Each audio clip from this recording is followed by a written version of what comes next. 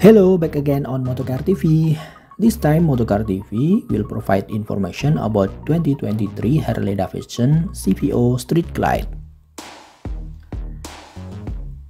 The visual change on the CVO Street Glide may feel minor at first glance, but there is substantial refinement from its immediate predecessor. Street Glide update Batwing fairing, which retain the iconic T layout but streamlines its silhouette with the split stream fan now fully integrated into the design. As a distinctive design element, the LED headlamp takes on a new shape with its amber LED turn signal now integrated into the left and right lamp elements for cleaner overall look.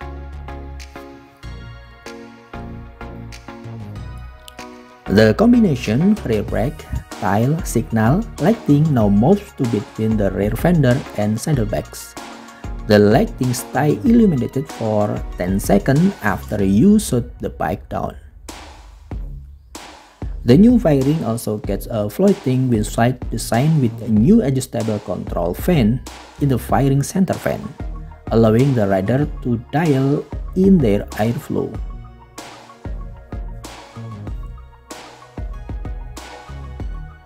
Ergonomic issues have been addressed on the new CVO Street Glide as well, with a redesigned seat and padding shape to replace rider head in a neutral position reducing fatigue on the back and neck. 12.3-inch TFT touchscreen that 90% large diagonally than the outgoing unit and replacing most of the switches on previous CVOs.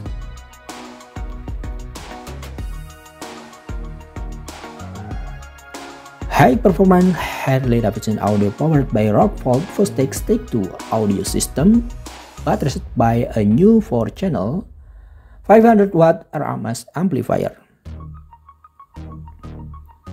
In addition to the cornering ABS and cornering traction control system, the new CV also include cornering electronically link brake, cornering drag torque slip control, vehicle hold control, and tire pressure monitoring. The CVO Road Glide model and CVO Street Glide model are set to reach Harley dealers globally in mid-July with base MSRP $43,000 CVO The CVO Street Glide model are set to reach Harley dealers globally in mid-July with base MSRP of $43,000 CVO Street Glide will make his US debut in Milwaukee during Harley-Davidson Homecoming Festival. Okay, thank you for watching. Don't forget to like, share, comment, and subscribe this channel.